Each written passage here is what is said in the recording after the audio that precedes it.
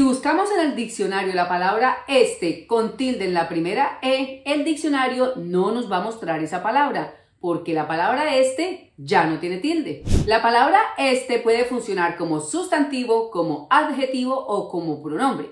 Como sustantivo es el punto cardinal, este, lo mismo que oeste, ¿cierto?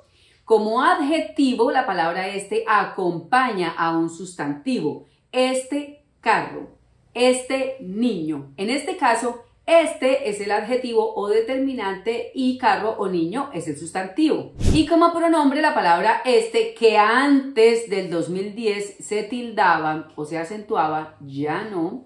La palabra este como pronombre lo que hace es sustituir o referirse al sustantivo anteriormente mencionado. Por ejemplo, de los pantalones que estoy observando en este almacén, este me gusta más. Fijémonos que después de la palabra este no hay un sustantivo como en el caso de este niño, este carro.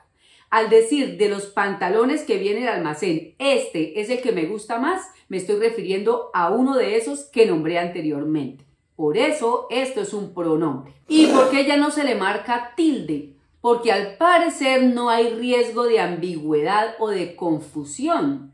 Si yo digo de los pantalones que hay en el almacén, este es el que me gusta, pues suena igual que si digo este pantalón. Entonces, dependiendo del contexto o de la conversación, ya sea a qué me estoy refiriendo. Además, debo decirles que la palabra este, ah, pero esperen, tengo un curso de ortografía buenísimo en el que profundizo este tema que se lo voy a dejar anclado en la descripción de este video o en mi perfil de Instagram también lo encuentran. Continúo. Además la palabra este es una palabra grave. ¿Esto qué quiere decir? Que lleva su mayor golpe de voz en la penúltima sílaba. Es.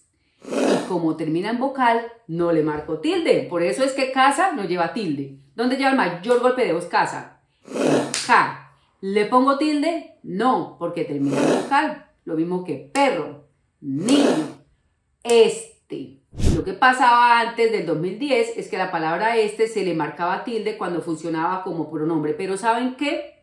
Siento que se nos facilita más la vida si se determina que la palabra este nunca más llevaría tilde porque en realidad, dependiendo del contexto, vamos a saber si estamos usando una o la otra. Este es el mismo caso de la tilde diacrítica. Tenemos que él lleva tilde en unas ocasiones y él puede no llevar tilde.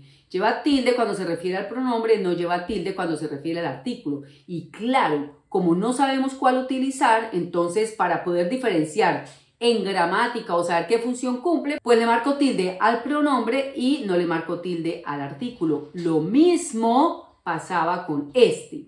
Cuando este funcionaba como pronombre era cuando se le marcaba la tilde. Por ejemplo, este es el que voy a comprar. Aquí lo vemos con tilde. Antes del 2010 se le marcaba tilde en este caso. Pero actualmente le eliminamos la tilde tanto al pronombre como al adjetivo. El adjetivo nunca ha llevado tilde. Entonces, para no confundirnos, pues es mejor no ponerle tilde nunca. Quiero aclararles qué es un pronombre. Si yo digo de los marcadores que están en el escritorio, este es el que necesito, este es el pronombre que se refiere al sustantivo anteriormente mencionado, marcadores. Elijo uno, el pronombre.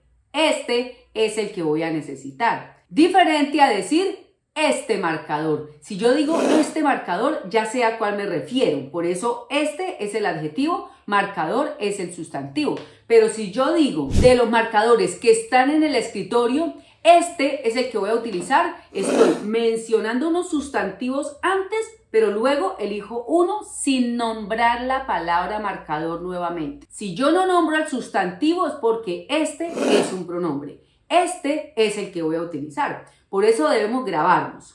Adjetivo, este más sustantivo. Este marcador, este carro, este pantalón. Ahí es un adjetivo. ¿Y cuándo funcionaría como pronombre? Cuando no menciono al sustantivo.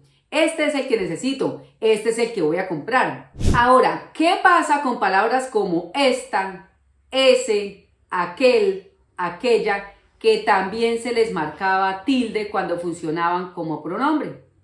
Pues ya no se le marcan tilde. Igual, Todo lo que acabé de explicar aplica para esta, ese, esa, aquel o aquella. Esas palabras también pueden funcionar como pronombre. Por ejemplo, aquella casa es la mía. Aquella adjetivo y casa sustantivo, ya lo sabemos. Si no voy a nombrar al sustantivo, es un pronombre, pero ya no lleva tilde. Antes sí llevaba tilde. Sé que suena extraño, hasta se vería extraño, pero antes se le marcaba el tilde, antes del 2010 cuando funcionaba como pronombre. Ahora, si funciona como pronombre, ya no le marco tilde. Aquella es la que voy a comprar.